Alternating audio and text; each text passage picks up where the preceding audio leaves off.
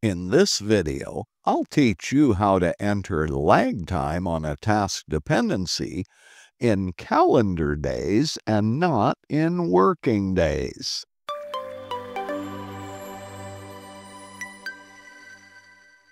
If you watched my previous video on how to set task dependencies, you learned how to add lag time in working days to a task dependency relationship.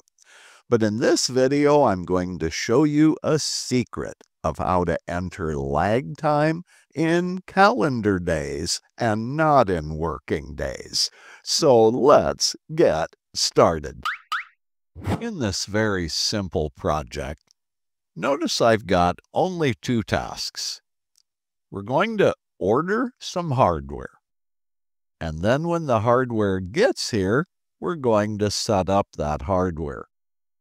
Currently, I have these two tasks linked with a finish to start dependency.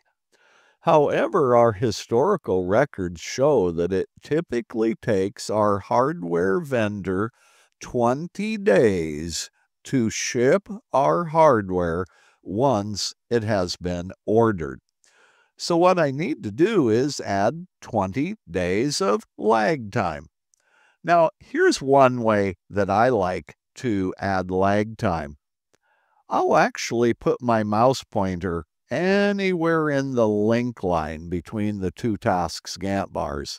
I always aim for the little arrowhead because that's the biggest part, thickest part of the Gantt bar, and then I'll double click. When I do that, Microsoft Project will automatically display the task dependency dialog. Now in the dialog, here's where I can go ahead and put in a lag of 20 days. When I click the OK button, there you can see this very big gap. And if I float my mouse pointer over the link line in the tooltip, I can see the lag is 20 days.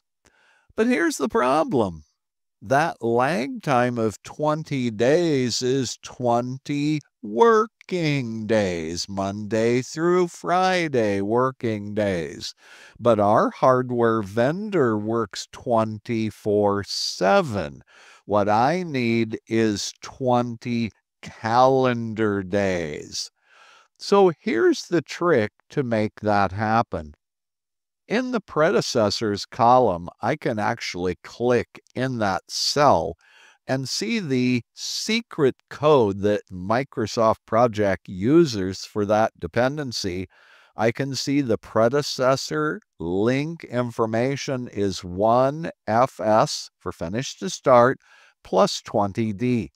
Now, what I'm going to do is click in the cell to actually edit the value and I'm going to change the D to ED.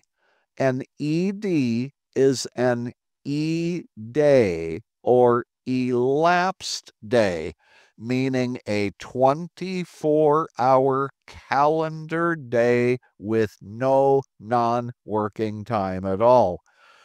Now, when I press the Enter key, I want you to watch the Gantt bar for the setup hardware task. Watch it move. Boom. Bingo. Just like that, it snaps back. Now I can actually count up. Here's six days plus seven more. That's 13. Plus seven more. There's 20 calendar days. That is how to enter lag time in calendar days and not in working days.